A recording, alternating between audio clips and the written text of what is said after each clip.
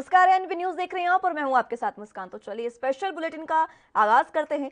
Corona virus की दूसरी लहर कहर बरपा रही है। कोरोना से बचाव के लिए वैक्सीनेशन की रफ्तार बढ़ाने की मांग पर ज़ोर पकड़ रही है। इस बीच वैक्सीन निर्माता विदेशी कंपनियों की ओर से अच्छी खबर सामने आई है। दरअसल, अमेरिकी फार्मा कंपनी फाइजर इस साल यानी 2021 में भारत को वैक्सीन की पाँच करोड़ डोज देने को तैयार है। फाइजर इसके बदले कुछ रियायतें चाहती है। सूत्रों के हवाले से यह खबर सामने आई है कि फाइजर साल 2021 में ही वैक्सीन की पाँच करोड़ डोज देने के लिए तैयार हो गई है। लेकिन इसके लिए कंपनी क्षतिपूर्ति के साथ ही महत्वपूर्ण नियमांक छूट चाहती है। एक एजेंसी के मुताबिक एक अन्य अमेरिकी फार्मा कंपनी मॉडर्ना भी अपनी सिंगल डोज वैक्सीन अगले साल तक भारत में लॉन्च कर सकती है। मॉडर्ना इसके लिए सिप्ला और अन्य फार्मा कंपनियों के संपर्क में है।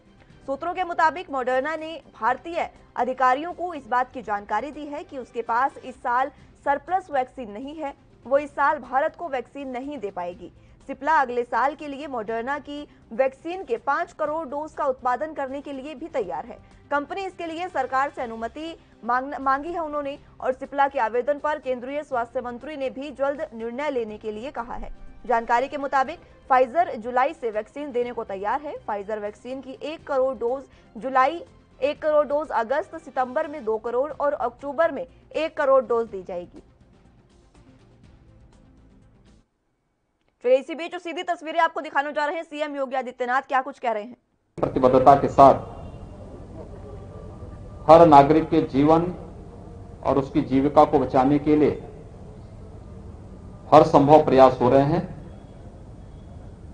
और उसके अपेक्षित परिणाम भी सामने आ रहे हैं। इस लड़ाई में देश के अंदर सबसे बड़ी आबादी का राज्य उत्तर प्रदेश अपनी प्रभावी भूमिका के साथ कार्य कर रहा है। देश के अंदर सबसे बड़ी आबादी का राज्य होने और जितनी बड़ी आबादी है, उतनी ज़्यादा हमारे सामने चुनौती भी थी। विशेषज्ञों ने तमाम प्रकार की आशंकाएँ भी व्यक्त की थी। लेकिन टीम वर्क और जो मंत्र आदरणीय प्रधानमंत्री जी ने दिया था प्रारंभ में ही कोरोना से लड़ने के लिए कि हमें ट्रेस टेस्ट एंड ट्रीट के इस फार्मूले को अपनाना पड़ेगा। ट्रिपल टी के इस फार्मूले के आधार पर कोरोना के खिलाफ जो व्यापक अभियान चला, आज उसके अपेक्षित परिणाम हम सबके सामने हैं। उत्तर प्रदेश ने अब तक चार करोड़ सतहत्तर लाख से अधिक टेस्ट किए हैं। ये देश के अंदर सर्वाधिक टेस्ट है। और उसी का परिणाम है कि जिस प्रदेश के बारे में तमाम प्रकार की आशंकाएँ व्यक्त की जा रही थी, और प्रदेश आज एक सुरक्षित स्थिति की ओर आगे बढ़ रहा है। यूपी के बारे में कहा जाता था कि यहाँ स्थिति अनियंत्रित हो जाएगी अस्त व्यस्त हो जाएगी। 15 मई तक 30 लाख से ज़्यादा एक्टिव केस होंगे। 25 अप्रैल से लेकर के 10 मई के बीच में एक लाख केस प्रतिदिन आएँगे। आज 3,300 मात्र केस आए हैं पूरे प्रदेश के अंदर। एक्टिव केस की संख्या जो 30 अप्रैल को तीन लाख दस हज़ार थी आज वह घटकर के मात्र बासठ हज़ार रह गई है। यानी एक अर्ली एंड एग्रेसिव जो कैंपेन स्टेट ने चलाया गाँव गाँव में मोहल्ले मोहल्ले में, निगरानी समितियों को भेज करके, उनके माध्यम से मेडिसिन किट वितरित होना, अगले 24 घंटे के अंदर एंटीजन टेस्ट के माध्यम से हर एक लक्षण युक्त व्यक्ति का टेस्ट करना, यह कार्यक्रम तेज़ी के साथ आगे बढ़ा। आज उसका परिणाम है कि उत्तर प्रदेश के अंदर पॉजिटिविटी तीन के आसपास रह गई है। उत्तर प्रदेश के अंदर रिकवरी पिचानवे फ़ीसदी से अधिक पहुँच गई है। और लगातार इसमें सुधार है। फ़र्स्ट वेव की तुलना में सेकंड में ऑक्सीजन की क्राइसिस देखने को मिली थी। पहली बार, हम आभारी हैं भारत सरकार के, कि जिसमें पहली बार ऑक्सीजन एक्सप्रेस चलाई गई। वायुसेना के विमानों के माध्यम से ऑक्सीजन के टैंकर भेजे गए। और हर व्यक्ति तक, हर हॉस्पिटल तक हम ऑक्सीजन की आपूर्ति कर सकें। इसके लिए शासन और प्रशासन की टीम ने, जनप्रतिनिधियों ने हेल्थ वर्कर्स ने कोरोना वॉरियर्स ने पूरी मेहनत के साथ इस अभियान को आगे बढ़ाया। आज उसके परिणाम हम सबके सामने हैं। हर जनपद को आने वाले समय में ऑक्सीजन के क्षेत्र में आत्मनिर्भर बनाने के एक बड़े अभियान के साथ हम काम कर रहे हैं। और उसमें हर जनपद को उसकी आवश्यकता के अनुरूप पहले ही ऑक्सीजन कंसंट्रेटर उपलब्ध करा दिए गए हैं। प्रदेश में बीस हज़ार नए ऑक्सीजन कंसंट्रेटर अब तक हम उपलब्ध कराए हैं। और लगभग इतने ही नए ऑक्सीजन कंसंट्रेटर हम लोग उपलब्ध कराने की तैयारी कर रहे हैं। लेकिन ऑक्सीजन प्लांट बने। मेडिकल कॉलेजेज में लिक्विड मेडिकल ऑक्सीजन के बड़े बड़े टैंक वहाँ पर स्थापित हो। क्रायोजेनिक टैंक होते हैं, जिसमें एक निश्चित टेम्परेचर में ऑक्सीजन को वहाँ पे रखना पड़ता है। उनकी स्थापना की कार्रवाई चल रही है। तो हॉस्पिटल डिस्ट्रिक्ट हॉस्पिटल या सीएससीज में, वहाँ पर हम लोगों के द्वारा एटमोस्फियर से ही ऑक्सीजन बनाने के जो संयंत्र हैं, उनकी स्थापना के कार्य को स्तर पर आगे बढ़ाया जा रहा है। इस समय हम लोग 300 से ज़्यादा ऑक्सीजन प्लांट उत्तर प्रदेश के अंदर अलग अलग हॉस्पिटल में लगा रहे हैं और देवरिया जनपद में भी यहाँ की टीम ने अच्छा काम किया है, सभी जनप्रतिनिधियों ने मेहनत किया है, और यहाँ पर भी चार नए ऑक्सीजन प्लांट लगाने की कार्रवाई चल रही है। यहाँ की पॉजिटिविटी रेट तीन के आसपास है, जो एक बार काफ़ी ज़्यादा बढ़ चुकी थी और तीन के आसपास आ चुकी है और उसमें और भी गिरावट निरंतर देखी जा रही है। इसके साथ ही रिकवरी रेट अच्छी दिशा में यहाँ की बढ़ रही है। तिरानवे फ़ीसदी से अधिक यहाँ की रिकवरी रेट है। और इसमें और भी बढ़ोतरी के लिए क्या प्रयास किए जाने हैं, इसके बारे में अभी मैंने यहाँ की समीक्षा बैठक ली है।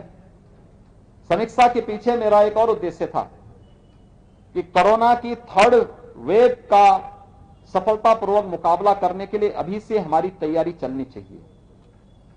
लेकिन साथ साथ बरसात का समय आ रहा है और पूर्वी उत्तर प्रदेश के जनपद मस्तिष्क ज्वर, यानी इंसेप्लाइटिस की दृष्टि भी अत्यंत तो संवेदनशील है।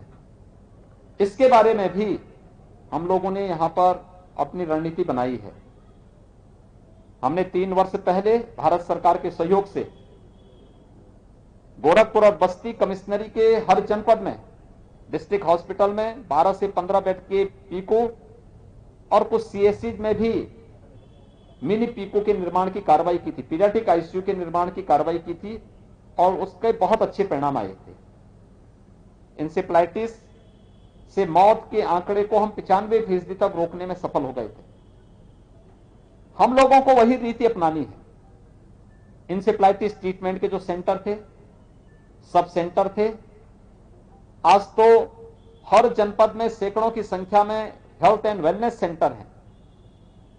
और हमें घर घर जाकर के, जैसे हम लोगों ने कोरोना के खिलाफ अभियान चला करके, घर घर जाकर के स्क्रीनिंग करने का काम किया था। ऐसे ही हम लोग हर जनपद में, और खासतौर पर इंसेप्लाइटिस की दृष्टि भी संवेदनशील जनपद हैं, उनमें भी, और प्रदेश के हर जनपद में, जहाँ पर थर्ड वेव की आशंका से लोगों में थोड़ा भय हम लोग अभी से बच्चों के लिए मेडिसिन उपलब्ध करवा रहे हैं। और मेडिसिन उपलब्ध कराने के बाद फिर किसी भी लक्षण युक्त व्यक्ति को पहले ही चरण में उसको दवा उपलब्ध करवाने के साथ उनकी जाँच की प्रक्रिया को आगे बढ़ा देंगे। तो हम लोग थर्ड वेव को भी रोकेंगे और इंसेप्लाइटिस से होने वाली मौतों के आंकड़ों को हम लोगों ने पिछले वर्ष तक ला करके जिस स्थिति में किया, उससे भी हम नीचे उसको लाने की दिशा में प्रयास करेंगे। यहाँ पर एक पीको का काम, पीको पहले से यहाँ पे बना हुआ है, पंद्रह बेडेड है। बीस बेडेड एक नया पीको के निर्माण के लिए हमने अभी आदेश किया है। और एक नई सीएससी लार में, उसको भी एक पीडियाटिक आईसीयू के रूप में भी वहाँ एक मिनी पीको के निर्माण के लिए मैंने अभी अपनी सहमति दी है कि यह कार्य यहाँ पे प्राथमिकता के आधार पर आगे बढ़ जाए। हर हेल्थ सेंटर, प्राथमिक स्वास्थ्य केंद्र, सामुदायिक स्वास्थ्य केंद्र, गतिविधियों का केंद्र बने। वहाँ पे एंटीजन टेस्ट हो, वहाँ वैक्सीनेशन की कार्रवाई हो, वहाँ पे सामान्य जाँच की सुविधा लोगों को मिले। इस कार्रवाई के साथ उसको जोड़ने की कार्रवाई तेज़ी के साथ आगे बढ़ी है और सभी जनप्रतिनिधियों से मैंने अपील की है वह कम से कम एक सीएससी या एक पीएससी को गोद लेकर के वहाँ की एक्टिविटीज़ के साथ जुड़े, जिससे हर व्यक्ति को हम बेहतर स्वास्थ्य की सुविधा उपलब्ध करवा सकें और इस दिशा में यह प्रयास प्रारंभ हुआ है। प्रदेश ने अब तक टेस्ट की कार्रवाई में भी एक लंबी छलांग लगाई। एक करोड़ इक्यासी लाख लोगों को हम वैक्सीन दे चुके हैं, जिसमें तेरह लाख पैंसठ हज़ार से अधिक युवा हैं। पहली जून से हर जनपद में हम वैक्सीन देने की कार्रवाई 18 से 44 वर्ष की उम्र के प्रत्येक व्यक्ति को करने जा रहे हैं और वैक्सीनेशन के लिए हम लोगों को प्रेरित कर सकें। हर व्यक्ति टेस्ट कराने से कोई भागे ना। क्योंकि मैंने अभी गाँव का दौरा भी किया था। और गाँव में मैंने देखा है, लोगों में कुछ संकोच है टेस्ट कराने से। या वैक्सीन लेने से। मेरी आप सबसे अपील है, हम लोगों को प्रेरित करें। मीडिया एक बहुत बड़ा माध्यम बन सकता है लोगों को बताने के लिए। जिन लोगों ने, उनके गाँव के आसपास जिन लोगों ने वैक्सीन ली है, उनकी फ़ोटो छाप करके आप उनका छोटा सा इंटरव्यू कि मैंने भी वैक्सीन ली है, मुझे कोई दिक्कत नहीं हुई। मैंने भी वैक्सीन ली है, और मैं कोरोना से पूरी तरह सुरक्षित हूँ। यानी एक सुरक्षा कवच प्रदान करेगा। और इसीलिए वैक्सीन निशुल्क राज्य सरकार भी और केंद्र सरकार भी 18 से 44 को राज्य सरकार की मदद से और 45 से ऊपर सभी लोगों को भारत सरकार की मदद से निशुल्क वैक्सीन मिल रहे हैं। वैक्सीनेशन का जो अभियान हमारा पहली जून से 18 से 44 की उम्र के लोगों के लिए प्रारंभ हो रहे होने जा रहा है। इसमें हम लोगों ने कुछ और चीज़ें जोड़ने की व्यवस्था की है। एक, हर जनपद में कुछ ऐसे केंद्र बनाएँगे जो अभिभावक स्पेशल हो। 12 वर्ष की कम उम्र के बच्चों के अभिभावकों को समय से वैक्सीन देना, जिससे ये कामकाजी वर्ग है। यह वर्ग सुरक्षित रहेगा तो उनके बच्चे भी सुरक्षित रहेंगे। जो थर्ड वेव की आशंका बच्चों के प्रति व्यक्त की जा रही है हम उन्हें वैक्सीन देकर के पहले ही सुरक्षित करेंगे। दूसरा आने वाले समय में 12 से 18 के बीच की वैक्सीन भी आ, सक, आ, आने वाली है। हम समय से उन बच्चों को वैक्सीन देकर के उनको भी सुरक्षित करेंगे। तीसरा हर जनपद में न्यायिक अधिकारियों के लिए और उनके परिवार के लोगों के लिए और जुडिस और दूसरा मीडिया के लिए भी। एक अलग अलग बूथ बनाने के लिए, वैक्सीन के लिए बनाने के लिए कहा गया है। हम लोग कोरोना कर्फ्यू में हैं। हमने लॉकडाउन नहीं लगाया है। कोरोना कर्फ्यू में हमारे उद्योग चल रहे हैं खेती बाड़ी का काम चल रहा है, राशन की दुकानें चल रही हैं। वे सामान्य गतिविधियाँ जो कोरोना प्रोटोकॉल का पालन करते हुए संचालित हो सकती हैं। सब्ज़ी मंडी का है फल मंडी का है, सभी हमारी संचालित हो रही हैं। उन सबको संचालित करने की कार्रवाई की जा रही है। और मुझे विश्वास है कि कोरोना के खिलाफ जो अभियान वर्तमान में चल रहा है, यह अभियान सफलता की नई ऊंचाइयों तक पहुंचेगा। आप सबका सहयोग इस मामले में विकसित है। आप सबसे भी अपील है, लोगों को कोरोना प्रोटोकॉल का पालन करने के लिए हम प्रेरित करें। टेस्ट करने, टेस्ट करवाने से न भागें और वैक्सीन उनकी पारी आने पर वे वैक्सीन ज़रूर लें। ये उन्हें सुरक्षा कवच, उन्हें और उनके परिवार को सुरक्षा कवच प्रदान करेगा। धन्यवाद।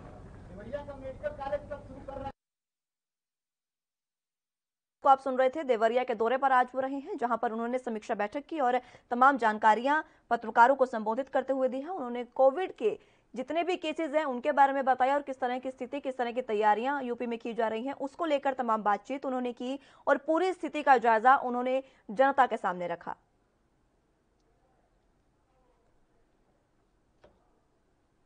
तो बात कोरोना की कर रहे थे। कोरोना की दूसरी लहर इस तरह से घातक होती जा रही है कि लोग काफ़ी हैरान परेशान हैं। और इसी बीच अब वैक्सीनेशन की रफ्तार बढ़ाने की मांग ज़ोर पकड़ रही है और इसी बीच अब एक खुशी की खबर भी सामने आ रही है क्योंकि अमेरिकी कंपनी फाइजर ने भारत को 2021 में वैक्सीन की पाँच करोड़ डोज देने के लिए मंजूरी दे दी है। फाइजर इसके बदले कुछ रियायतें भी चाहती है। सूत्रों के हवाले से यह भी कहा जा रहा है कि फाइजर 2021 में ही वैक्सीन के पाँच करोड़ डोज देने के लिए तैयार है, लेकिन इसके लिए कंपनी क्षतिपूर्ति के साथ ही महत्वपूर्ण नियामक छूट चाहती है। सूत्रों के मुताबिक अमेरिकी कंपनी फार्मा मोडर्ना भी अपनी सिंगल डोज वैक्सीन अगले साल भारत को देने को तैयार है। भारत में लॉन्च कर सकती है। मोडर्ना इसके लिए सिप्ला और अन्य फार्मा कंपनियों के संपर्क में है। आपको बता दें कि जानकारी के मुताबिक फाइजर जुलाई से वैक्सीन देने को तैयार है। फाइजर वैक्सीन की एक करोड़ डोज जुलाई में, एक करोड़ डोज अगस्त में, सितंबर में दो करोड़ और अक्टूबर में एक करोड़ डोज आने वाली है भारत में और फाइजर ने इसके साथ ही ये भी कहा है कि वो इसके लिए भारत सरकार के साथ ही डील करेगी। कंपनी पेमेंट भी भारत सरकार से ही लेगी। गौरतलब हो कि इस समय भारत में स्वदेशी निर्मित दो ही वैक्सीन है, कोविशील्ड और कोवैक्सीन, जिनसे टीकाकरण किया जा रहा है।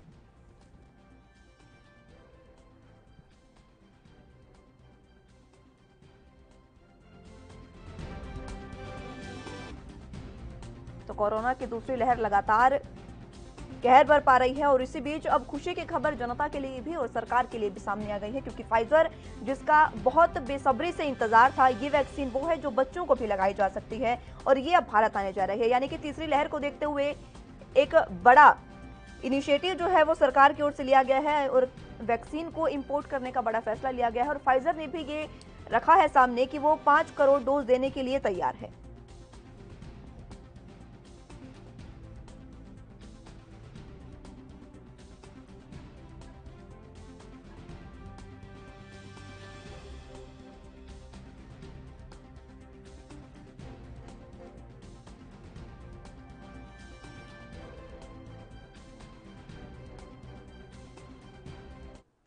इसी पर ज़्यादा जानकारी के साथ हमारे साथ आरबी उपाध्याय वरिष्ठ पत्रकार जुड़ चुके हैं। उनसे तमाम जानकारी लेंगे और मोडर्ना जो वैक्सीन है वो भारत आ रही है। माफ़ कीजिएगा फाइजर वैक्सीन भारत आ रही है। इसके बारे में क्या कुछ जानकारी है? बहुत स्वागत है सर आपका एनबी न्यूज़ पर।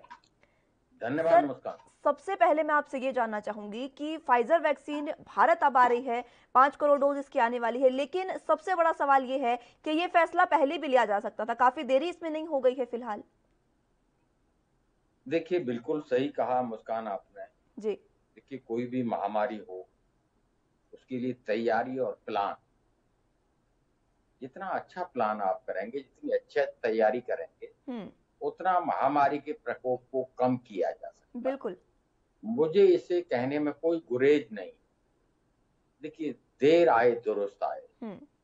हमारी प्राथमिकताएँ कुछ और रही और इसीलिए इतना समय हमें मिला सेकंड वेव में। आप देखेंगे विश्व पटल पर कई देशों में जहाँ सेकंड वेव कहर बरपा रही थी जी।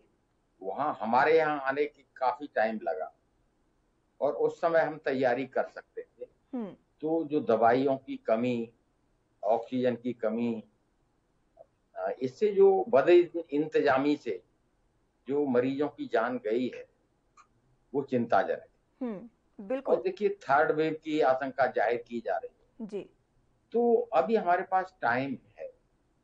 हम तैयारी पूरी करें। हम्म। और तैयारी देखिए क्या है दवा कुछ बहुत ज़्यादा है नहीं। ऐसे में ज़्यादा से ज़्यादा वैक्सीनेशन यही एक हथियार हमारे। बिल्कुल। और इसके लिए फाइजर वैक्सीन ने डोज भी देने के लिए तैयार है। उपाध्याय जी मैं आपसे ये जानना चाहूँगी कि फाइजर वैक्सीन जो अब आ रही है पहली लहर भी हमने देखी दूसरी लहर से हम भुगत रहे हैं अभी उसे और तीसरी लहर आने वाली है। स्थितियाँ क्या कुछ बदल सकती हैं इस वैक्सीन के आने से? आपके नज़रिए में क्या कुछ आपको लगता है? देखिए बिल्कुल बदलेंगे वैक्सीन के अलावा दूसरी कोई रेमेडी हमारे पास नहीं है। जी। तो हमें ज़्यादा से ज़्यादा वैक्सीनेशन करना होगा और ज़्यादा से ज़्यादा हम टीकाकरण करेंगे तो उसके लिए टीके की ज़रूरत होगी। हम्म। अब जिस स्पीड से हम टीकाकरण कर रहे हैं उस समय तो बहुत समय लगेगा। बिल्कुल। और थर्ड वेव भी आ जाएगी।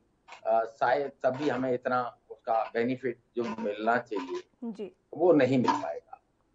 तो वैक्सीन कोई भी हो चाहे वो स्पूतनिक है चाहे वो फाइजर है चाहे वो मॉडर्ना कोई भी है हम्म। हमें कोशिश करनी चाहिए। और देखिए कंपनियाँ डायरेक्ट राज्यों को देने को खुश नहीं है। बिल्कुल भी तैयार वो चाहती हैं केंद्र पहल करे। हम्म। और केंद्र से ही वो समझौता करना चाहते हम्म। ये बात अलग है कि देखिए व्यवसायिक हित सबके अपने अपने तो जो वैक्सीनेशन कंपनियाँ हैं अब वो भी मुआवजे में या दूसरी चीज़ों में रियायत चाहती हैं। हम्म।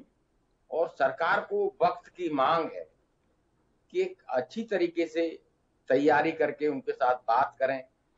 और जहाँ भी डील हो सकती है जहाँ से भी वैक्सीन मिल सकती है हम्म। वो देश की नागरिकों के लिए और देश की सुरक्षा के लिए अरेंज करनी चाहिए। बिल्कुल। उपाध्याय जी आपने भी। जी। आपने भी इस बात का ज़िक्र किया है और लगातार फाइजर ने खुद भी ये कहा है कि अगर वो डील करेगी तो भारत सरकार से ही करेगी। और आप जिस तरह से देख सकते हैं कि इससे पहले भारत सरकार ने जो कहा था राज्यों को कि आप ग्लोबल टेंडर निकालिए और आप ही कोशिश करिए कि वैक्सीन आपको मिल सके। तो कहीं ना कहीं राजनीति की वो इसमें नहीं आ रही है सर। देखिए बिल्कुल मुस्कान आप देखेंगे जब फ़र्स्ट वेव आई थी हम्म। तो फ़र्स्ट वेव में इतना जान माल का नुकसान नहीं। जी। और माननीय प्रधानमंत्री जी ने आगे आके बिल्कुल कमांड संभाली थी। हम्म। और देखिए एक जो असमंजस की स्थिति सेकेंड वेव में पैदा हुई उस तरह की असमंजस की स्थिति फ़र्स्ट फ़र्स्ट वेव में नहीं थी। जो भी केंद्र के गाइडलाइन थी उनको राज्यों ने फॉलो किया। जी। और आप देखेंगे कि हमने उस पर विजय पाई। हम्म। तो उसके दूरगामी परिणाम हम सबके सामने हैं। इस बार उस तरह का सिनेरियो देखने को नहीं मिला। जी देखिए राज्य केंद्र के ऊपर ठीकरा फोड़ रहा था। हम्म। केंद्र राज्यों के ऊपर ठीकरा फोड़ रहा था। कहीं कोई ज़िम्मेदारी लेने को तैयार नहीं था। बिल्कुल बिल्कुल बहुत सही बात कही आपने आरबी उपाध्याय जी। मैं आऊँगी एक बार फिर से आपके साथ। हमारे साथ सहयोगी न्यूज़ रूम से काजल ठाकुर एक बार फिर से जुड़ चुके हैं। काजल क्या कुछ स्थिति फ़िलहाल देखने को मिल रही है? और फाइजर वैक्सीन अगर भारत आती है तो आपके नज़रिए में स्थिति जो है वो किस तरह से बदली नज़र आएगी? जी पाँच करोड़ वैक्सीन देने के बाद फाइजर ने भारत को कही और कई ऐसी शर्तें हैं जिनके साथ वो वैक्सीन देने की बात कही है। सिर्फ़ वैक्सीन देने को नहीं कहा है पाँच करोड़ वैक्सीन भारत आएँगी। उसके अलावा तमाम ऐसी शर्तें हैं जो कि फाइजर ने भारत के साथ रखी हैं जिन शर्तों के साथ वो वैक्सीन आएगी। आपको ये भी बता दूँ कि इस समय देरी हो रही है फाइजर को भारत आने में। उसकी सिर्फ़ यही वजह है कि कई ऐसी शर्तें हैं जो कि फाइजर ने भारत के साथ रखी हुई हैं और उनको भारत अभी तक पूरा नहीं कर पा रहा है। वो शर्तें क्या है वो आपको बताती हूँ एक एक करके। वो ऐसी शर्तें हैं। फाइजर ने ये कहा है कि अगर वो वैक्सीन लगने के बाद कोई भी साइड इफ़ेक्ट होता है या फिर कोई भी कानूनी दावपेच होता है तो उसका जिम्मेदार फाइजर नहीं होगा। वो वैक्सीन जिस भी व्यक्ति को लगेगी चाहे वो महिला को लगे या पुरुष को लगे या फिर बच्चों को लगे कोई भी अगर दिक्कत आती है तो फाइजर उसकी ज़िम्मेदारी लेने को तैयार नहीं होगा। क्योंकि भारत उसको अपनी मर्ज़ी से ले रहा है। ये शर्त फाइजर ने भारत के साथ रखी है। और दूसरी बात आती है पेमेंट को लेकर। पेमेंट फाइजर को पहले चाहिए बाद में नहीं चाहिए। पेमेंट के लिए देरी हो रही है इसीलिए अभी भारत वो वैक्सीन नहीं आ पा रही है। और सबसे बड़ी बात यह है कि फाइजर से वैक्सीन सिर्फ़ भारत नहीं ले रहा है। कई ऐसे देश हैं जो कि फाइजर से वैक्सीन लेने को कह रहे हैं। और जब वैक्सीन बनी थी फाइजर ने बनाई थी सबसे ऊपर जापान का नाम आता है। कई ऐसे देश हैं जो कि फाइजर से वैक्सीन लेना चाहते हैं। भारत का नाम बहुत पीछे है। वो देश हैं जो कि वैक्सीन लेना चाहते हैं। भारत का नंबर शायद अभी ना आए। हालाँकि पाँच करोड़ वैक्सीन देने की बात कह दी है। अभी कब तक ये वैक्सीन आएगी ये देखना होगा। लेकिन कई ऐसी शर्तें हैं जब तक वो शर्तें पूरी नहीं हो जाती हैं तब तक वैक्सीन नहीं आएगी। चाहे फाइजर की बात हो या फिर किसी और वैक्सीन की। हमने अपने देश में देखा है अभी तक सिर्फ़ दो वैक्सीन हमारे देश में लग रही है। बिल्कुल। कोविशील्ड और कोवैक्सीन। अब उसमें भी सबसे बड़ी बात यह है कि जिन्होंने कोवैक्सीन अब तक लगवाई है उन लोगों को विदेश यात्रा करने में दिक्कतें हो रही है। विदेश यात्रा वो लोग नहीं कर सकते हैं क्योंकि हमारे देश में जो मान्यता मिली है सिर्फ़ एक वैक्सीन सिर्फ़ एक वैक्सीन को कोविशील्ड को मिली है। डब्ल्यूएचओ ने उसे अपनी हाँ। लिस्ट से हटा दिया है। काजल मैं आरबी उपाध्याय जी से भी अभी यही जानने की कोशिश कर रही थी कि जिस तरह से वैक्सीन में देरी हो रही है और फाइजर ने साफ़ तौर पर कह दिया है कि अगर वो वैक्सीन लेगी तो भारत सरकार से ही पेमेंट लेगी और भारत सरकार को ही वो वैक्सीन देगी। लेकिन भारत सरकार ने पहले ही क्लियर कर दिया था कि जो राज्य है वो ग्लोबल टेंडर निकाले। तो बीच में राजनीति की बुआ रही है, मैं यही अभी आरबी उपाध्याय से भी जानने की कोशिश कर रही थी। हाँ ग्लोबल टेंडर की आप बात करें ग्लोबल टेंडर अलग अलग राज्य सरकारों ने अपने अपने तरीके से निकाल दिया है। लेकिन सबसे बड़ी बात है यहाँ पे केंद्र सरकार की कमी है और कमी वो अपने आप दिख रही है। ग्लोबल टेंडर अगर वही ग्लोबल टेंडर केंद्र सरकार की तरफ़ से निकाला जाता है तो उसमें फ़ायदा ज़्यादा हो सकता था वैक्सीन ज़्यादा आ सकती थी और टीके ज़्यादा लोगों को लग सकते थे। अब क्या है कि अलग अलग राज्य अपने अपने तरीके से ग्लोबल टेंडर निकाल रहे हैं। अलग अलग राज्य जाएँगे उनकी जो खरीद फरोख्त होगी सब्ज़ी मंडी की तरह हो जाएगी एक तरीके से। फाइजर के साथ में अब दिल्ली दिल्ली की सरकार वहाँ पर जाकर पेमेंट करेगी वहाँ पर नापतोल करी जाएगी वहाँ पर अलग रेट पर मिलेगी। महाराष्ट्र की सरकार जाएगी। महाराष्ट्र की सरकार अगर फाइजर से पेमेंट को लेकर या फिर खरीद फरोख्त को लेकर करती है उसको अलग पेमेंट पर मिलेगी। या फिर कोई भी राज्य की सरकार जाती है तो अलग अलग राज्यों के साथ में अलग अलग परिस्थितियाँ खड़ी होंगी।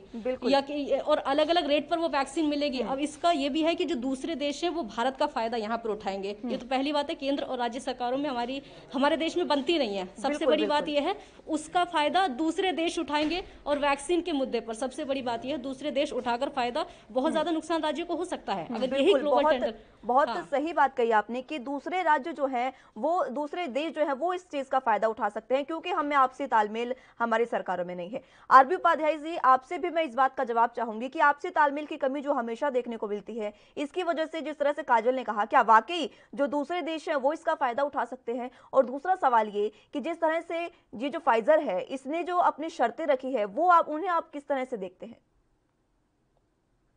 देखिए पहली बात तो यह है कि फ़ायदा जब आपस की फूट होगी हम्म। केंद्र और राज्य का समन्वय नहीं होगा हम्म। तो स्वाभाविक है कि दूसरा देश उसका फ़ायदा उठाएगा। जी। अगर केंद्र सरकार भाव मोल भाव करेगी हम्म। बातचीत करेगी तो वो एक ज़्यादा असरदार वजनदार बात होगी। हम्म। अब राज्य अपने अपने तरीके से मोल भाव करेंगे तो कोई अलग अलग रेट्स उसके आएँगे और हम्म। फिर उसमें भी दिक्कतें होंगी बहुत सारी। तो केंद्र को पहल करनी चाहिए कि भी वो आगे आए हम्म। और विदेशों से इंपोर्ट करे जो भी है। बिल्कुल। शर्तों की बात देखिए। जी। देखिए मुस्कान हर कंपनी के अपने व्यवसायिक हित होते हैं और ऐसे पीरियड में ज़्यादा से ज़्यादा व्यवसायिक हित साधने की कोशिश की जाती। हम्म। लेकिन अ, सरकार होती किस लिए? सरकार अपनी शर्तों को मनवाने के लिए अपनी शर्तों पर कंपनी को मजबूर करने के लिए पूरी एक रणनीति तैयार और वो रणनीति केंद्र सरकार को बनानी चाहिए। और कंपनियों के साथ टेबल टॉक बातचीत रखनी चाहिए।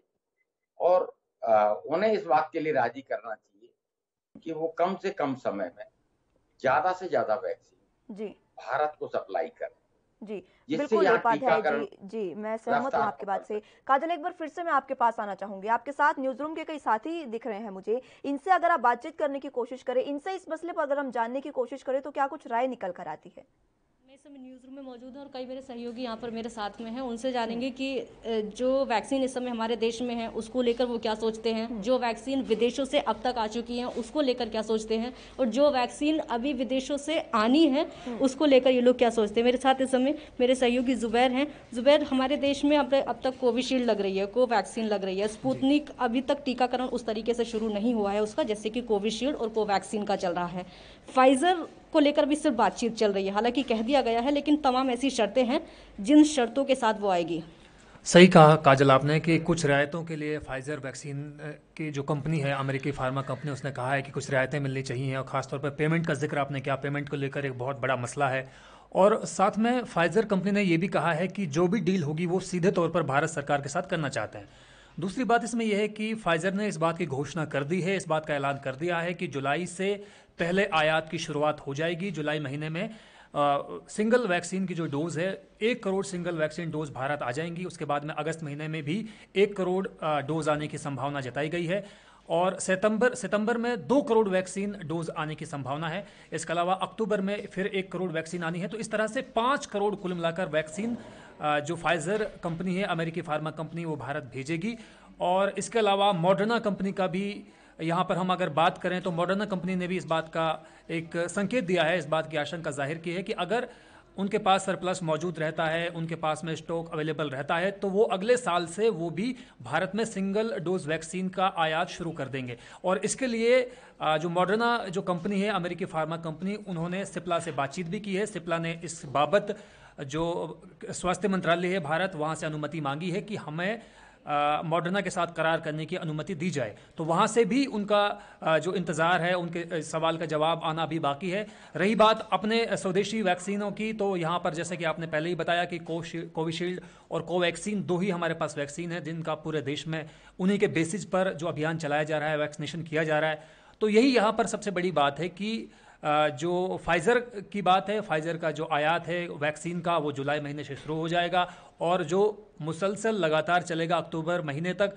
और मॉडर्ना कंपनी की जहाँ तक बात है तो मॉडर्ना कंपनी अगले साल से पाँच करोड़ वैक्सीन भारत में सप्लाई करने की बात कह चुका है। नहीं लेकिन जुबैर यहाँ पर एक चीज़ और है कि अमेरिका की बहुत बड़ी फार्मा कंपनी है फाइजर इतना आसान नहीं है वहाँ से टीके लेना वहाँ से वैक्सीन लेना। कई ऐसे देश हैं जो कि लाइनों में लगे हुए हैं। जापान सबसे ऊपर आता है और अब से नहीं जब वो टीके बनने शुरू हुए थे तभी देशों ने अप्लाई कर दिया था। भारत ने तब नहीं किया था। तो फा, फाइजर उनको प्राथमिकता देगा या भारत को प्राथमिकता देगा? क्या लग रहा है? जी बहुत वाजिब सवाल आपने पूछा और इसमें मेरा ख्याल है कि ये सबसे ज़्यादा हमें समझने की ज़रूरत है कि जिस तरह से हमारी और अमेरिका की जो कूटनीतिक जो मसले हैं वो कितने मज़बूत है यहाँ पर वो भी देखे जाने हैं। और जिस तरह से भारत में कोरोना वैक्सीन की ज़रूरत आन पड़ी है इस वक्त अब तो जापान में तो अब सूरत हाल ख़राब हो रहे हैं। भारत में पहले से ही आप देख रहे हैं कि रोज़ाना चार चार, चार लाख जो एक्टिव केसेस हैं वो सामने आ रहे हैं। चार हज़ार से ज़्यादा लोगों की रोज़ाना जान जा रही है। तो मेरा ख्याल है कि इस बाबत अमेरिका भारत को प्रेफरेंस देगा किसी भी दूसरे देश के मुकाबले। और वो मुनासिब भी है क्योंकि भारत जैसे विकासशील देशों में वैक्सीन की ज़रूरत ज़्यादा भी है क्योंकि अभी तक हम उस मकाम पे नहीं पहुँच पाए हैं कि अमेरिका जैसे विकसित देश जो पहले से ही वैक्सीन के प्रोडक्शन में काफ़ी आगे हैं हमसे। तो ऐसी उम्मीद जताई जा सकती है भारत की तरफ़ से। और जताई भी गई है केंद्र सरकार की बात करें स्वास्थ्य मंत्रालयों की बात करें और जिस तरह से अभी हाल फ़िलहाल एस जयशंकर खुद अमेरिका में मौजूद हैं, कोरोना वैक्सीन को लेकर, तमाम बातें वो अमेरिकी जो विदेश मंत्रालय उससे भी कर रहे हैं, स्वास्थ्य मंत्रालय से भी कर रहे हैं और उम्मीद जताई जा रही है कि बाइडन के समकक्ष भी वो इन तमाम चीज़ों को रखेंगे। तो ऐसे में उम्मीद जताई जा रही थी जताई जा रही है कि जयशंकर के द्वारा भी इस चीज़ को गति मिलेगी फ़ायदा पहुंचेगा और भारत को अमेरिका की जो फाइजर वैक्सीन जो पहुंचाएगा उसमें मेरा ख्याल है काफ़ी मदद मिलेगी। एक और कंफ्यूजन है हमारे काजल एक ये भी मैं जानना चाहूँगी जुबैर से कि क्या वाकई जो वैक्सीन हम अब इंपोर्ट कर रहे हैं फाइजर वैक्सीन अगर हमारे पास आती है लेकिन क्या इसमें देरी नहीं हो गई है? क्योंकि दूसरी लहर की स्थिति हमने देख ली है पूरी तरह से बदतर हो चुकी है। तीसरी लहर आने वाली है। इस बीच इस समय ये जो वैक्सीन आ रही है क्या फ़िलहाल देरी नहीं हो गई है? और जवाब इसका यह है कि देरी होना इसमें फाइजर की कमी नहीं है बल्कि हम्म। भारत सरकार की कमी है। क्योंकि भारत सरकार को लगता यह था कि हमारे देश में उतना उत्पादन हो गया है हम्म। कि काफ़ी है और यही वजह थी कि भारत ने दूसरे देशों को भी वैक्सीन भेज दी थी। तो कमी इसमें फाइजर की नहीं है। फाइजर ने देरी नहीं की है देरी से अप्लाई किया गया है हम्म। इसीलिए देरी से वैक्सीन आएँगी। अगर पहले अप्लाई कर दिया जाता इस तरीके से अलग अलग राज्यों से ग्लोबल टेंडर नहीं निकाले जाते तो वैक्सीन पहले आ सकती थी। लेकिन अभी भी जो देरी हो रही है सिर्फ़ सरकार की तरफ़ से। सरकार शर्तों को अभी नहीं मान पा रही है। काजल मैं एक बार फिर से आऊँगी आपके पास आरबी उपाध्याय जी हमारे साथ मौजूद हैं उनसे एक बार मैं जानना चाहूँगी आरबी उपाध्याय जी जो वैक्सीन अब भारत आ रही है इसकी जो स्थिति आपने कहा कि काफ़ी बदली नज़र आएगी लेकिन बच्चों में ये क्या वाकई कारगर होगी क्योंकि सूत्रों के हवाले से ये भी खबर है कि फाइजर के वैक्सीन से फ़िलहाल दो लोगों की मौत भी हो गई है देखिए कोई भी वैक्सीन अभी फुल प्रूफ नहीं है हम्म। मुस्कान हम सबको समझना होगा वायरस नया है। इतनी जल्दी में वैक्सीन तैयार भी है इनके साइड इफ़ेक्ट के ऊपर बहुत ज़्यादा अध्ययन अभी नहीं हुए हैं हम्म। और जहाँ तक वायरस का प्रश्न है समय समय पर वायरस अपना रूप बदल रहा है तो वहाँ वैक्सीन कितनी कारगर होगी ये कहना जल्दबाजी होगी हम्म। और देखिए उसी का परिणाम है कि फाइजर चाहता है कि भी जो भी यहाँ वैक्सीनेशन होगा टीकाकरण होगा उसमें कोई साइड इफ़ेक्ट होता है हम्म। किसी की जान जाती है तो वो उस कानूनी प्रक्रिया से या मुआवजा देने की प्रक्रिया से बचना चाहता है ज़्यादा से ज़्यादा फ़ायदा उठाने की कोशिश हम्म। इस समय हर कंपनी कर रही है। ये बात अलग है कि भारत एक अच्छी स्थिति में है। Be something better than nothing अंग्रेज़ में कहावत है। देखिए हमारे पास दो वैक्सीन है। हम्म। तो जो विश्व की जो फार्मा कंपनियाँ हैं वो जानती हैं कि ये हमारे ऊपर ही डिपेंड नहीं है। ये बात अलग है। कि अमेरिका ने रॉ मटेरियल पर कुछ रोक लगाई। आ, तो हमारे यहाँ जो कंपनियाँ उत्पादन में लगी थी। जी बिल्कुल बिल्कुल उपाध्याय जी बहुत सही बात कही आपने। शायद यही वजह है कि जो फाइजर है उसने इस तरह की तमाम शर्तें रखी है कि अगर कुछ भी होता है कोई भी अगर दिक्कत आती है इसमें तो फाइजर का इसके लिए जिम्मेदार नहीं होगी। बहुत शुक्रिया आरबी उपाध्याय जी आपका हमारे साथ जुड़ने के लिए और तमाम चर्चा करने के लिए। काजल आपका भी बहुत शुक्रिया हमारे साथ जुड़ने के लिए। फ़िलहाल यहाँ रुकेंगे एक छोटे से ब्रेक के लिए जल्द हाजिर होंगे।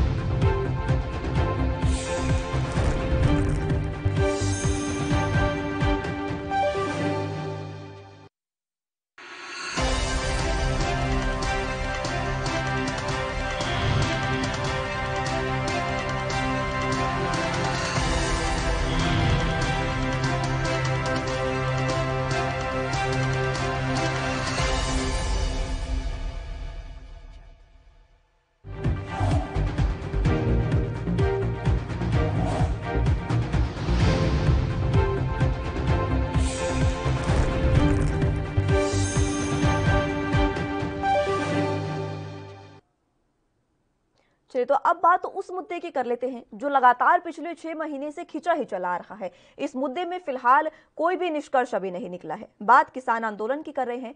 पंजाब, हरियाणा, यूपी से हज़ारों किसानों का जत्था दिल्ली बॉर्डर पर पहुँचा। नेशनल हाईवे खोद दिए गए। ठंड की रातों में पानी की बौछारें तक की गई, ताकि किसान दिल्ली में दाखिल ना हो सके। इसके बाद किसान दिल्ली की अलग अलग सीमाओं पर ही केंद्र सरकार के खिलाफ तीन कृषि कानूनों के प्रदर्शन के लिए बैठ गए हैं। 26 मई साल 2021 मौसम बदल गया है तपती गर्मी आई है। आंदोलन के छह महीने और नरेंद्र मोदी के शासनकाल के सात साल पूरे होते नज़र आ रहे हैं। किसानों के यूनियन संयुक्त मोर्चा ने 26 मई को काला दिवस मनाना घोषित किया है और आज वो मना भी रहे हैं। उन्होंने केंद्र सरकार से अपील भी की है कि कृषि कानूनों को लेकर वो किसानों के साथ दोबारा तत्काल संवाद शुरू करें, वरना आंदोलन और तेज कर दिया जाएगा। कृषि कानूनों के खिलाफ किसानों का यह आंदोलन असल में सितंबर 2020 से ही पंजाब और हरियाणा में जारी था। लेकिन जब किसानों को लगा कि उनकी बात दिल्ली तक नहीं पहुँच पा रही है तो नवंबर के आखिर में किसान दिल्ली के लिए कूच पर निकल गए। बीते छह महीने के अरसे में किसानों ने सड़कों पर लगे तंबुओं और ट्रोलियों को अपना घर बना लिया। यह आज़ाद भारत का सबसे बड़ा और सबसे लंबा किसान आंदोलन है। 21 मई 2021 को अब 40 किसान संगठनों के समूह ने संयुक्त किसान मोर्चा ने प्रधानमंत्री नरेंद्र मोदी को एक चिट्ठी लिखी है, जिसमें उन्होंने तत्काल किसानों के साथ संवाद दोबारा शुरू करने के लिए कहा है। इस चिट्ठी में उन्होंने लिखा, सरकार की ओर से की गई बातचीत में किसानों ने पूरा सहयोग किया, लेकिन फिर भी सरकार हमारी न्यूनतम मांगों और चिंताओं का हल निकालने में असफल रही है। कोई भी लोकतांत्रिक सरकार अब तक इन कानूनों को वापस ले चुकी होती, जिससे किसानों में इतना असंतोष है, जिसके नाम पर ये कानून लाया गया है।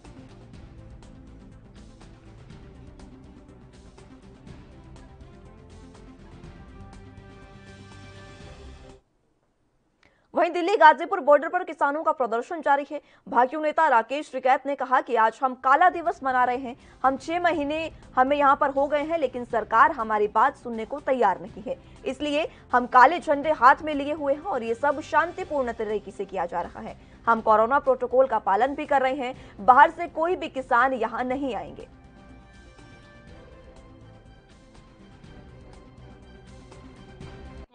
काले झंडे भी लगाए। छह महीने हो गए सरकार बात नहीं मान रही तो तो करना पड़ेगा ना। लेकिन आपको लगता है इस कोरोना काल में विरोध का ये तरीका उचित है? क्या करें तरीका हमें आंदोलन का तरीका बता दो क्या है? लेकिन आपने कल कहा था कि कोरोना प्रोटोकॉल का हाँ तो पूरा प्रोटोकॉल है यहाँ कोई एक भीड़ कितनी है मतलब इतने बड़े उसमें भीड़ ये ज़्यादा है हमने कोई पचास हज़ार की भीड़ तो जुटाई थी बंग, नहीं बंगाल के बंगाल के चुनाव से ज़्यादा तो भीड़ तो नहीं। किसान भाई हैं उनकी सुरक्षा आप लोगों की सुरक्षा हाँ, सब- सब- सब ऐसे में जुम्मे- लोग हैं वो भी तो संक्रमित हो सकते हैं। हाँ नहीं तो तो जो प्रेस के लोग कहेंगे वो नहीं है। ये क्यों बैठे हैं? अगर सरकार को इतनी ज़्यादा चिंता है तो ये कानून वापसी ले ले हम अपना घर चले जाएँगे। सरकार को कानून छोटे लगते हैं और गोदाम बड़े लगते हैं। तो इसलिए कानून वापसी नहीं ले रही। देश भर में कृषि कानूनों के विरोध में किसानों का आंदोलन जारी है और दिल्ली बॉर्डर पर लगातार प्रदर्शन हो रहे हैं। वहीं अब किसान आंदोलन के छह महीने पूरे हो गए हैं और किसान आज काला दिवस मना रहे हैं। इस दौरान किसान घरों पर काले झंडे लगा रहे हैं। साथ ही केंद्र सरकार का पुतला भी जलाकर नाराज़गी जता रहे हैं और वीडियो और फ़ोटो सोशल मीडिया पर भी वायरल हो रही है। बता दें कि किसान अपनी मांगों पर अड़े हैं और कृषि कानूनों को रद्द करने की मांग कर रहे हैं। इसे लेकर संयुक्त किसान मोर्चा ने आज काला दिवस मनाने का निर्णय लिया है। किसानों की मांग है कि जब तक कृषि कानून वापस नहीं होंगे, एमएसपी पर गारंटी कानून नहीं बनेगा, तब तक किसान आंदोलन खत्म नहीं करेंगे।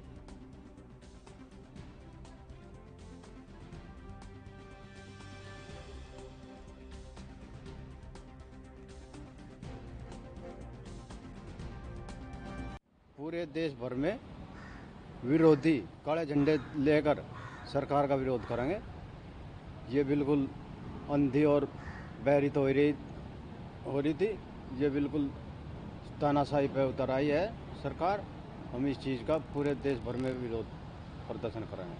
आज कितने बजे से शुरू होगा नौ नौ बजे के बाद में। नौ बजे के बाद से क्या करेंगे आप लोग? क्या काले झंडे लगाएँगे? काले झंडे लगाएँगे काले झंडे अपने ट्रैक्टर पे भी अपने खेत में भी घर पे भी पूरे देश भर में जो जहाँ पर है हर चौराहे पे इकट्ठे हो गए और पुतले फूकेंगे सरकार को। कहाँ से आ रहे हैं आप लोग? हम जिला बरेली से आए हुए हैं जी। आज ही आए हैं? अभी आए हैं। क्या नाम है आपका? सोमवीर सिंह है जी। तो क्या ये काला दिवस है इसलिए आप लोग यहाँ पर आए हैं हाँ। लेने के लिए इसी? रूटीन में भी आते रहते हैं। मेन आज ये भी था काले दिवस के लिए भी आई।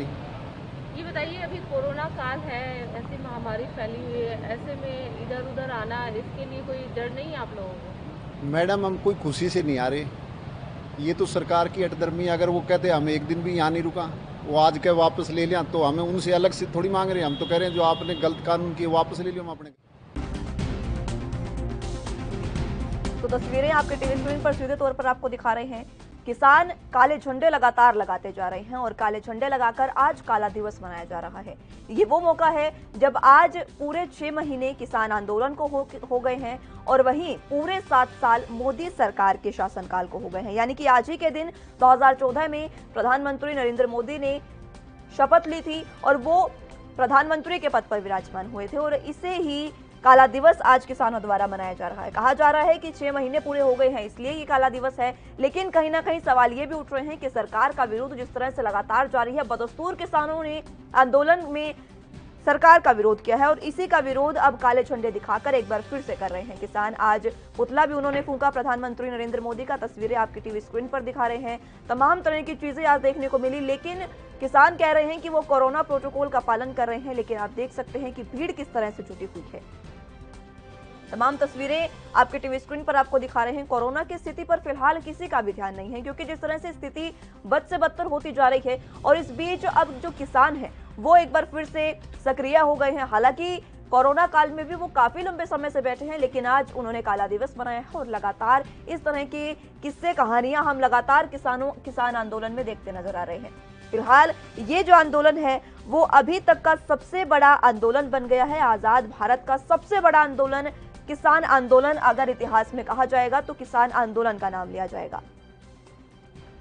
तो तस्वीरें भी आपको दिखा रहे हैं और तमाम बाइटें भी हमने आपको सुनाई, क्या कुछ नेता कह रहे हैं।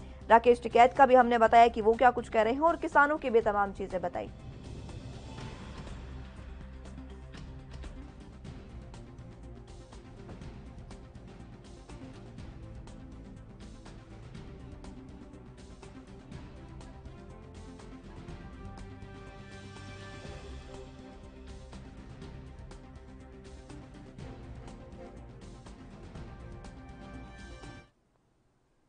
चलिए तो अब किसान आंदोलन के ही मुद्दे पर ज़्यादा जानकारी के साथ हमारे लिए पैनल हमारे साथ मौजूद है। उनसे चर्चा करेंगे रामपाल जाट जी हैं, जो किसान नेता हमारे साथ मौजूद हैं। बहुत स्वागत है सर आपको एनपी न्यूज़ पर। रत्नाकर सिंह जी हमारे साथ कांग्रेस का पक्ष रखने के लिए मौजूद हैं। बहुत स्वागत है रत्नाकर सिंह जी आपका भी। और राहुल आनंद जी बीजेपी का पक्ष रखने के लिए हमारे साथ फ़ोन लाइन पर जुड़ चुके हैं। सबसे पहला सवाल रामपाल जाट जी आपसे ही होगा मेरा कि जो फ़िलहाल स्थिति कोरोना की चल रही है, क्या वाकई इस समय में किसान आंदोलन इतना सक्रिय होना चाहिए?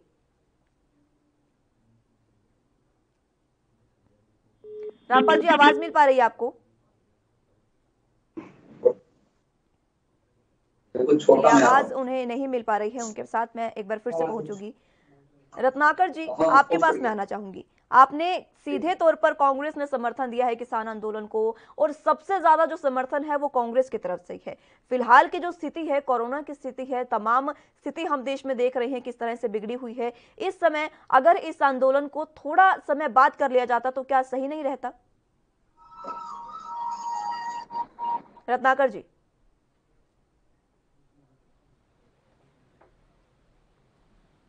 चलिए एक बार फिर से उनको जोड़ेंगे, लेकिन फ़िलहाल संपर्क उनसे टूट गया है। एक बार फिर से बातचीत के लिए उन्हें दोबारा मौजूद करेंगे। फ़िलहाल जो स्थिति है, किसान आंदोलन की, वो लगातार बिगड़ती जा रही है। सक्रिय किसान एक बार फिर से हो गए हैं। तस्वीरें आप देख सकते हैं।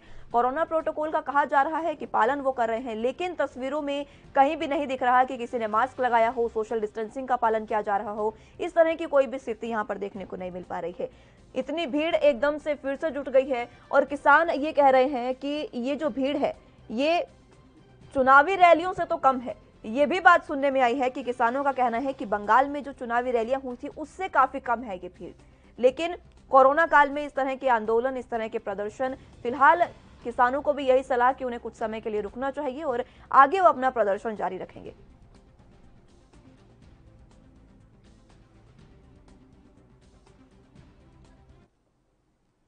चलिए गेस्ट हमारे साथ एक बार फिर से मौजूद है रत्नाकर सिंह जी और रामपाल जाट जी रामपाल जी, सवाल मेरा सीधा आप ही से है कि क्या वाकई इस समय में कोरोना की स्थिति में आपको इस समय आंदोलन इस तरह से सक्रिय करना चाहिए? आप कुछ समय बाद भी ये कर सकते थे।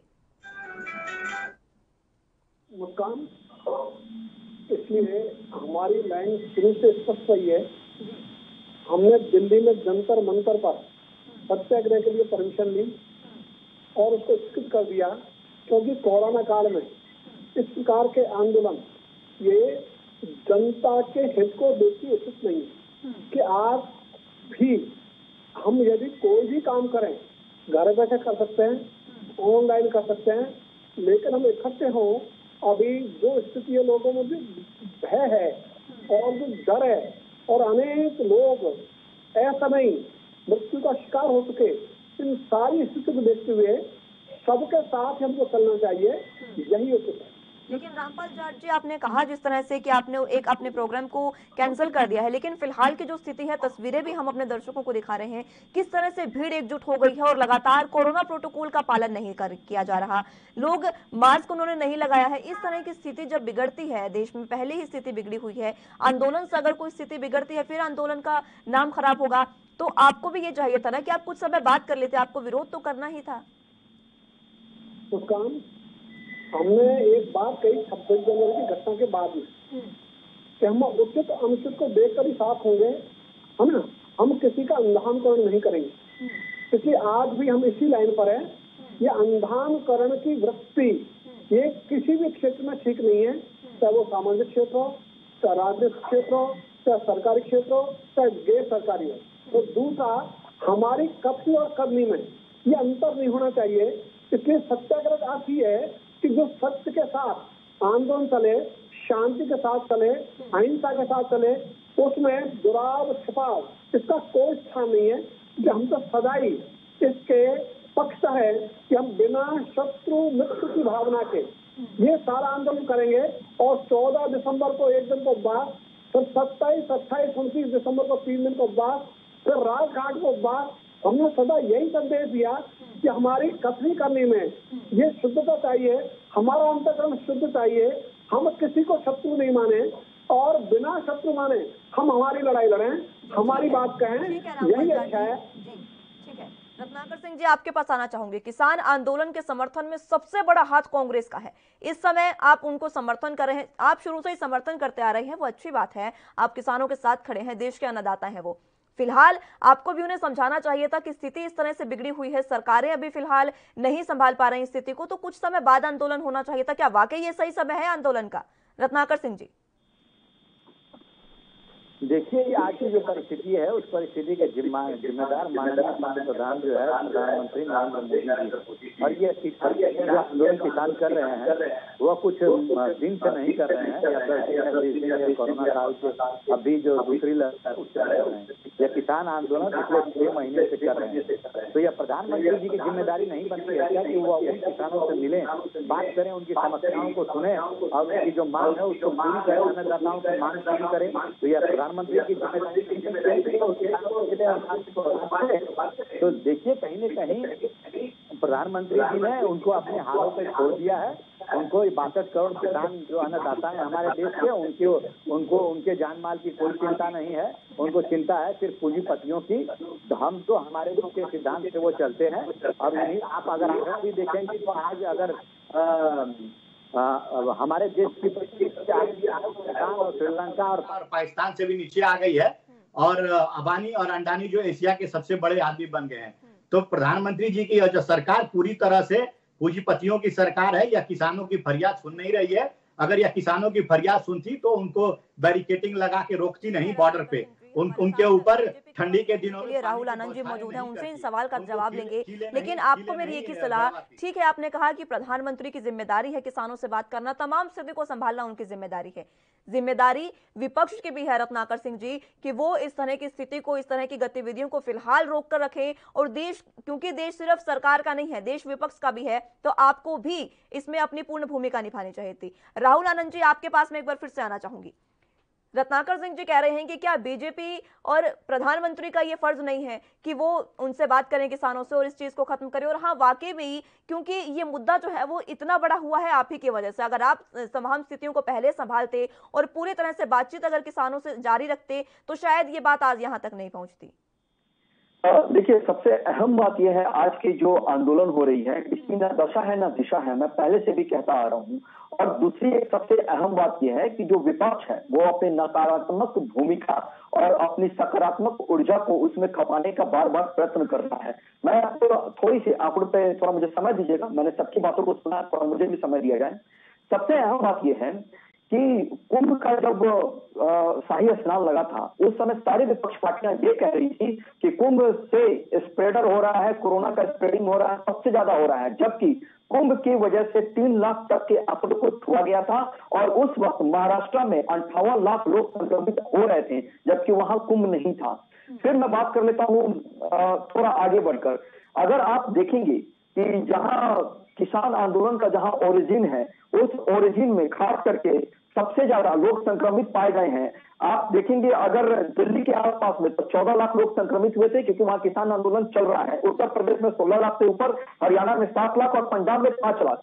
ये जो विपक्ष है, आपने एक बहुत ही महत्वपूर्ण बात कही है कि देश विपक्ष का भी होता है। यहाँ पर यहाँ पर विपक्ष को सकारात्मक भूमिका निभानी चाहिए थी और ये कहना चाहिए था कि अभी समय इसका नहीं है क्योंकि ये बार बार ये बातों को तो ठीक है राहुल आनंद जी आपने तमाम आंकड़े तो बता दिए लेकिन अगर कुंभ सरकार ने आयोजित किया है तो वहाँ पर केस कम है और दूसरी जगह ज़्यादा है आपने ये भी जता दिया और अगर किसान आंदोलन हुआ है तो किसान आंदोलन में सबसे ज़्यादा केस है आपने ये भी जता दिया। यानी कि बीजेपी सरकार किसानों के समर्थन में तो नहीं है यही बात आप कहना चाह रहे हैं?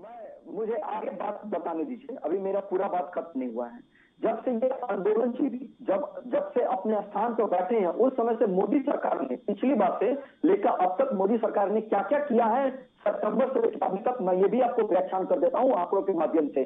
पहली बार पहली बार सोलह लाख करोड़ रुपए सर देखिए राहुल आनंद जी राहुल आनंद जी आधे घंटे के डिबेट में इतना समय नहीं होता कि हम पीछे के तमाम आंकड़ों के पास जाएँ। फ़िलहाल की आप बात करिए जिस तरह के आप सुनिए जिस तरह के आंकड़े आपने बताए हैं कुंभ के और किसान आंदोलन के क्या बीजेपी किसानों को समर्थन में नहीं है? क्या बीजेपी नहीं चाहती कि उनका भला हो? आप उन पर बिना बात किए कानून थोप रहे हैं? ये किसानों का कहना है और लगातार वो इस तरह के आरोप लगाते नज़र आ रहे हैं। पच्चीस तारीख को सुनिए किसानों ने भी तो किसानों के चौदह समूहों ने मिलकर आपको एक पत्र लिखा है। उस पर किस तरह से लिया जाएगा, उस पत्र को आप मुझे इस बात का जवाब दीजिए। क्या आप फिर से एक बार वार्ता का दौर शुरू होगा?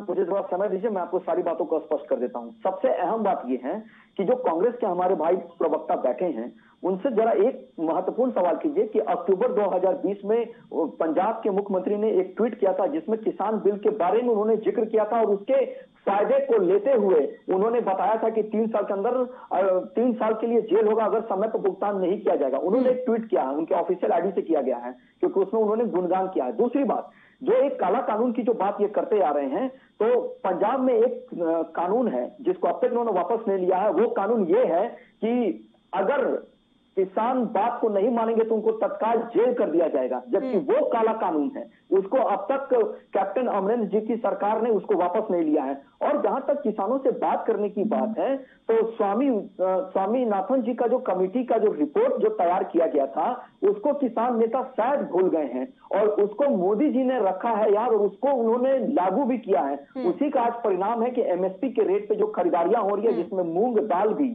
लोग बेचने के लिए ठीक है ठीक है ठीक है राहुल आनंद जी ठीक। है रामपाल जार जी आपके पास आना चाहूँगी स्वामीनाथन रिपोर्ट को क्या भूल गए हैं आप?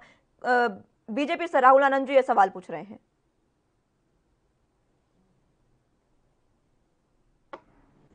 घोषणा की थी वो भी बजट में कि हम सभी उपजों के न्यूनतम समर्थन मूल्य उनकी लागत से डेढ़ गुना करेंगे। वो आज तक भी नहीं किए। संपूर्ण लागत है उसको कहते हैं सी टू सी टू का आज तक इन्होंने डेढ़ गुना नहीं किया। उल्टा इन्होंने लागत का फार्मूला ही बदल दिया। जो दुनिया में लागत का फार्मूला नहीं है, वो फार्मूला ले आए। आधी अधूरी लागत का डेढ़ गुना करके। इन्होंने ढोल पीटा के हमने संपूर्ण लागत का डेढ़ गुना कर दिया। तो भाई, जितना करो उतना कह दो ना। जो आप कर ही नहीं रहे, उसके ढोल क्यों पीट रहे हो? तो मुझे लगता है, इनका स्वभाव ऐसा हो गया है सरकार में रहते हुए, रहते रहते कि ये स्वयं का ढोल बजाना और हमारे जो भी इनके कार्यकर्ता है, वो भले हैं, अच्छे लोग हैं, जो अपनी सरकार का लगातार डिफेंड करने का काम करते रहते हैं, सही हो तो भी, गलत हो तो भी इनका स्वभाव बन गया। मैं मतलब कहना चाहूँगा, सत्तारूढ़ दल के कार्यकर्ताओं से भी कि भाई आप उनके उपकरण मत बनो आप भी कहना सीखो गलत को गलत सही को सही। और ये अभी नहीं कह पा रहे हैं ये गलत को भी सही सिद्ध करने की कोशिश करते हैं इसलिए जितनी भी मैं डिबेट देखता हूँ उसमें यही देखता हूँ कि हमारे भाजपा के जो भी कार्यकर्ता बैठते हैं उनको तो बैठना पड़ता है उनको भाजपा के साथ जुड़े रहना है। इसलिए उनको लगता है कि सरकार जो भी करे उसी के ढोल बजाना यही उनका कर्तव्य है। जबकि ये उनका कर्तव्य नहीं है उनका कर्तव्य है सही को सही कहना गलत को गलत कहना। अन्यथा ऐसे लोग जब इकट्ठे हो जाते हैं ढोल बजाने वाले तो वो ढूंढते हैं। ठीक तो है ठीक है रामपाल जाट जी एक आखिरी कमेंट आपसे लेना चाहूँगी। आगे की फ़िलहाल आपकी क्या रणनीति होगी आज के दिन के बाद? मात्र तीस सेकंड में बात खत्म करिएगा सर। शांति अहिंसा सत्य के आधार पर इस आंदोलन को चलाएँगे और हम पहले खुद को ठीक करेंगे। जो मैं कहता हूँ प्रथम कुर्सी विचार। पहले स्वयं को ठीक करना फिर दूसरे के बारे में टिप्पणी करना। इसलिए स्वयं को ठीक करते हुए इस आंदोलन को सफलता तक पहुंचाएँ और इसमें सरकार की भूमिका ही है केवल जो भी कानून बनाने वो सरकार को बनाने। वार्ता करो, मत करो। आंदोलन को करो, मत करो। वो भी न्याय की बात है। सरकार को पूरा करना चाहिए। एमएसपी की खरीद की गारंटी का कानून। माननीय मोदी जी का कहा हुआ है 2011 में? इसलिए खुद की बात को खुद पूरा करें। इससे बढ़िया बात क्या होगी? इसके लिए किसी आंदोलन जी जी ठीक है रामपाल जाट जी। देखिए आप तीनों को ही मेरी एक ही सलाह होगी रामपाल जाट जी। सबसे पहले तो आपसे अगर आपको बात कहूँ तो फ़िलहाल के समय में कोरोना की स्थिति को देखते हुए आपको ये काम नहीं करना चाहिए था। आपको थोड़ा रुक जाना चाहिए था। और रत्नाकर सिंह जी कांग्रेस सबसे ज़्यादा जब कर रही है सपोर्ट किसान आंदोलन को। बहुत अच्छी बात है, आप अन्नदाता को सपोर्ट कर रहे हैं। लेकिन आपको भी समझाना चाहिए था कि फ़िलहाल स्थिति खराब है, क्योंकि देश आपका भी है तो स्थिति खराब है तो आपको भी इसे संभालना चाहिए था। राहुल आनंद जी, सरकार के लिए सिर्फ़ एक ही बात है कि जल्द से जल्द इस बात, इनसे बात कीजिए, वार्ता का दौर शुरू कीजिए, और जो भी इतने लंबे समय से आंदोलन चलता आ रहा है, इसको कृपया खत्म कीजिए। बहरहाल, बहुत शुक्रिया आप तीनों का हमारे साथ जुड़ने के लिए और तमाम बातचीत करने के लिए। फ़िलहाल, इस बुलेटिन में मेरे साथ बस इतना ही। आप जुड़े रहिए एनपी न्यूज़ के साथ। नमस्कार।